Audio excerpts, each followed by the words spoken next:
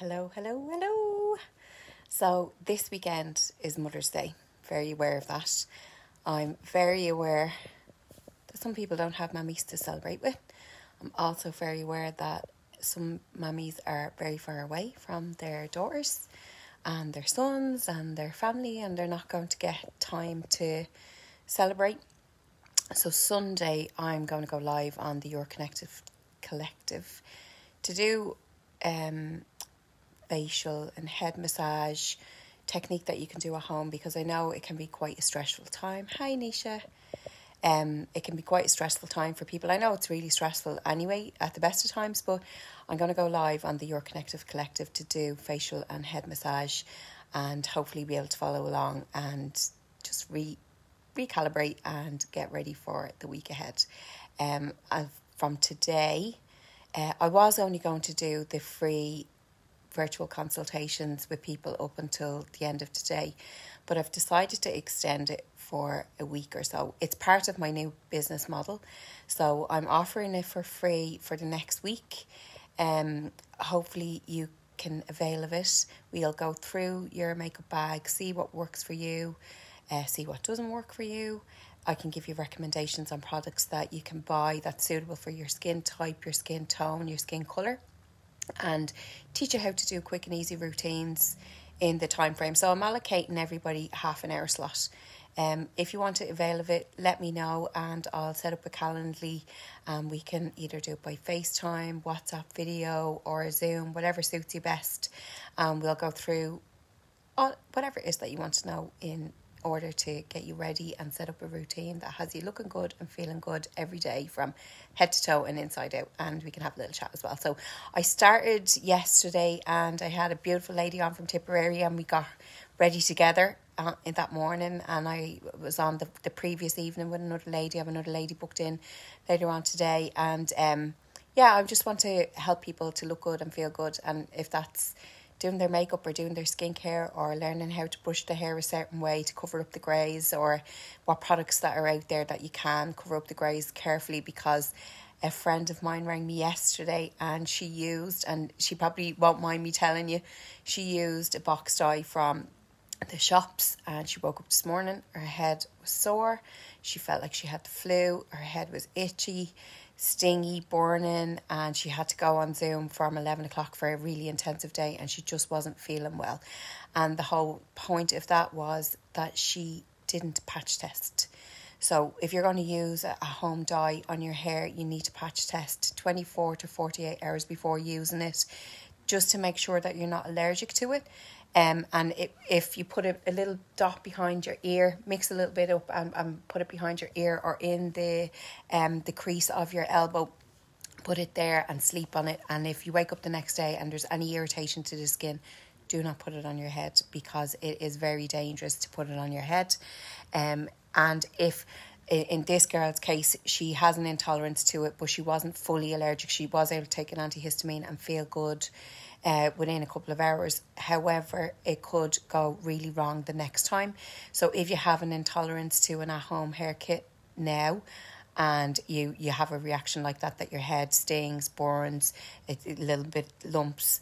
Um, the next time you use it could be a very different um, situation altogether, and you might end up in A and E. So, um, don't use a product if you haven't patch tested it. okay, Suzanne. Uh, the hair dye point, I'm using two boxes of the same dye. Do I need to patch test with both? No, it's it's generally the actual maker. So in this case, it was a, a really highly um, well known brand, um, this particular girl is, is just intolerant to that brand. So I know myself, there's certain brands that I would itch, like even in the hairdressers, if, they put it on me, I can feel my head itching and I would take a, a hairbrush or a comb and just itch my head. And at the end, it would be fine. It might feel a little bit stingy, but other ones uh, I would get lumps and bumps, and that's the brands that I stay away from and I know what they are now at this stage. Um, I would be very sensitive skin and I would have allergies. I have hay fever and stuff like that. So generally, people that have pre-existing allergies like hay fever, like asthma, um, they would all be highly sensitive to the chemicals. It's called PPD in the hair dyes. So you really need to be very careful. Um, so yeah, if you are using the same hair dye um, from the same brand, once you patch test with one that that one box, you'll be fine. Um, and do it twenty four to forty eight hours prior to uh, tinting your hair. Um, the other thing I'll say is if say for instance, see the way the bottom of my hair is blonde, but this part here is brown don't bring it down through the mid lengths and ends. Just put it on the and cover the greys. So if the greys, for instance, are only that that much, only put the hair color to that section. Don't come any further than that.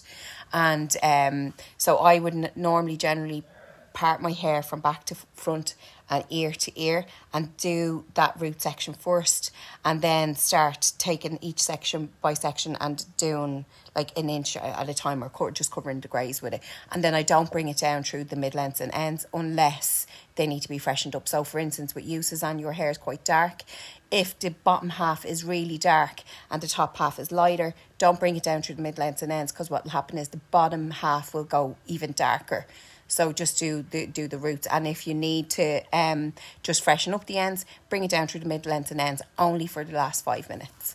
Um, I know yesterday's news about the hairdressers not being open and up for a while was quite disconcerting for me and a lot of other people, and um, they are going to be running out to buy the box dyes from the shops.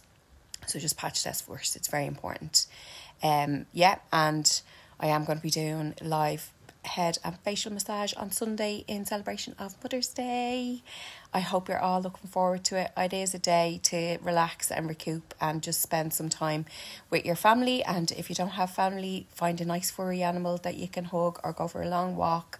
Or again, if you need to talk to anybody, there are resources and uh, places out there that you can get in touch if you need to talk to anybody. And again, I'm here if anybody wants to reach out to me. I will help you in any way that I can. And um, yeah, I'm starting from the inside out and head to toe. So we'll start with the skin, and if it goes to the heart, we can do that as well. So let me know in the comments below if there's anything that you want me to cover. Next week is going to be a big week. Lauren's back to school, so I'm going to have so much more time on my hands. Well, so they say. So when she goes back to school, I will. I plan on doing a whole lot more lives because we live in an apartment, so it's very hard to get away from each other. Um, so when she's at school and he's in his bedroom working away, I will be doing more live. So if you want to let me know in the comments below what it is you want to know, and I'll create the content for you. And I'll see you. I'll be back on tomorrow at some stage, I'm sure. But have a fabulous weekend anyway. Bye.